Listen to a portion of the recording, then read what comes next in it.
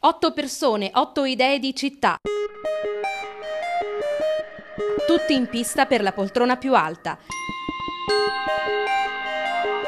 I candidati sindaco dell'Aquila si confrontano in diretta su abruzzo24ore.tv giovedì 3 maggio alle ore 9 del mattino. Domande ficcanti che i candidati si faranno l'un l'altro per una puntata speciale dell'Irriverente da non perdere. Seguici in diretta streaming giovedì 3 maggio alle ore 9.